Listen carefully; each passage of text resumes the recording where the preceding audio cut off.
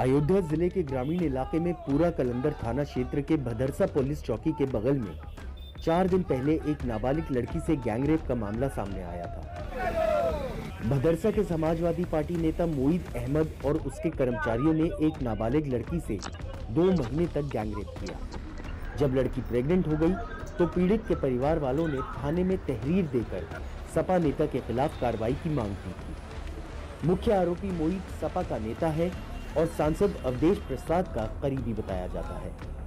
शुक्रवार से ही जिला प्रशासन इस बेकरी की ज़मीन की सत्यता के लिए पैमाइश कर रहा था और शनिवार सुबह से ही खाद्य विभाग की टीम बेकरी के सामान की गुणवत्ता की जाँच कर रही थी। जाँच में पता चला कि बेकरी तालाब की ज़मीन पर बनी है।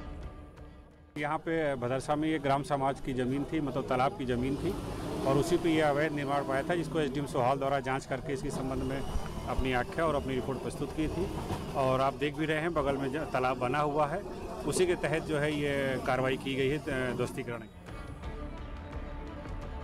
आरोपी मोहित की बेकरी ही सरकारी ज़मीन पर नहीं बनी थी, बल्कि उससे सटी हुई मोहित की एक बहुमंजिला बाज़ार का भी काफ़ी हिस्सा रास्ते के ज़मीन पर बना है।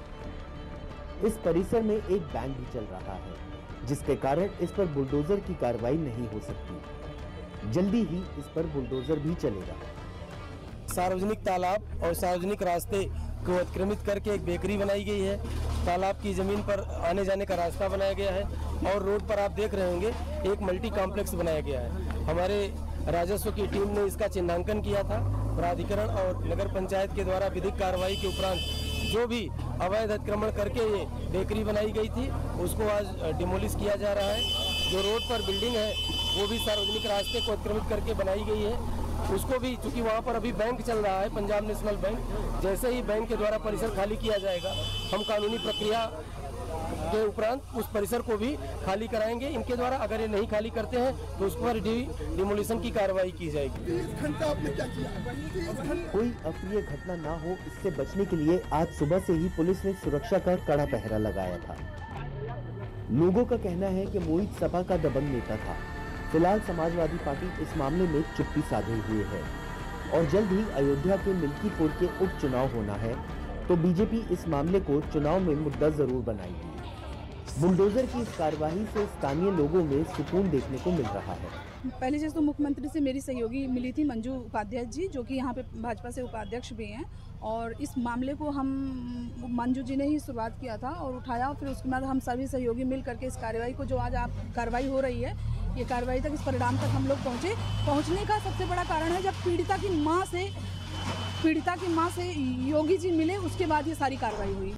उत्तर प्रदेश के अयोध्या ज़िले में नाबालिग के गैंगरेप के मामले में आरोपी समाजवादी पार्टी के नेता के बेकरी पर प्रशासन का बुलडोजर चल गया। दरअसल अयोध्या में एक नाबालिग लड़की के साथ सपा नेता और उसकी बेकरी में काम करने वाले कुछ लोगों पर गैंगरेप करने का आरोप लगा। इस आरोप के बाद पुलिस ने मुकदमा दर्ज करने में हीला हवाली की, लेकिन जब मामला ऊपर के अधिकारियों तक पहुँचा तो मुकदमा भी दर्ज हुआ और इसको लेकर के राजनीतिक चर्चाएँ भी शुरू हो गई। इसके बाद ये मामला विधानसभा में उठा और तब से कार्रवाई तेज हुई। इस मामले में दो आरोपियों की पहले गिरफ्तारी हुई और सपा नेता मोईद खान, इसको भी एफआईआर में नामजद किया गया। इसके बाद पीड़िता की माँ ने मुख्यमंत्री योगी आदित्यनाथ से मुलाकात की और मुलाकात के बाद मुख्यमंत्री ने आश्वासन दिया कि जल्द ही इस मामले में कड़ी से कड़ी कार्रवाई की जाएगी। और इसी शाम, यानी कि शुक्रवार शाम को प्रशासन के लोग उस बेकरी में पहुँचे जहाँ पे नाबालिग छात्रा के साथ गैंगरेप किया गया था और वहाँ पर पैमाइश का काम शुरू हो गया। इसके बाद जो पुलिसकर्मी इसमें प्रथम दृष्टया दोषी पाए गए, उसमें एसएचओ और चौकी इंचार्ज दोनों को सस्पेंड कर दिया गया। और शनिवार दोपहर होते होते प्रशासन का बुलडोज़र उस बेकरी पर पहुँचा जहाँ पे बेकरी का सामान बनता था। उस बेकरी में जहाँ सामान बनता था, उस जगह को, लगभग तीन हज़ार स्क्वायर फीट के आसपास जगह को गिरा दिया गया।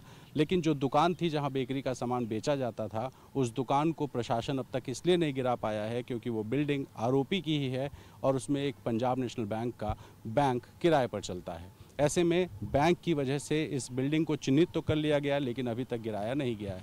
साथ ही जो आरोपी का घर है, उस पर भी प्रशासन ने पैमाइश का काम शुरू कर दिया है। यानी कि इस पूरे मामले में इस वक्त आरोपियों पर कार्रवाई को लेकर के मुख्यमंत्री के आश्वासन के आधार पर जिला प्रशासन सख्त से सख्त कार्रवाई करने के मूड में है और आरोपी पहले ही गिरफ़्तार किए जा चुके हैं। अयोध्या से अपने सहयोगी प्रमोद श्रीवास्तव और कैमरा पर्सन वीरेंद्र सैनी के साथ रणवीर, एनडीटीवी इंडिया के लिए।